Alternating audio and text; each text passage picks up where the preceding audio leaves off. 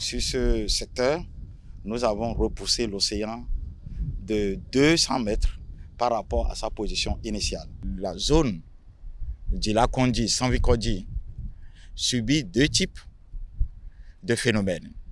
Nous avons premièrement des phénomènes liés à l'érosion côtière que vous observez et des phénomènes liés à la submersion marine qu'on a l'habitude d'observer où on parle d'inondation liées à, l'avancée de la mer. Les travaux qui ont été réalisés dans le cadre du projet WACA peuvent être euh, subdivisés en deux types d'ouvrages, à savoir les ouvrages terrestres qui, qui regroupent les ouvrages de type épi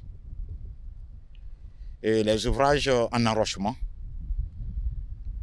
de type épi comme des revêtements, comme le talus que nous avons en face de nous et les ouvrages maritimes. Dans la reconstitution des hauts de plage par dragage, une des priorités est le respect de la granulométrie, c'est-à-dire le respect du fuseau.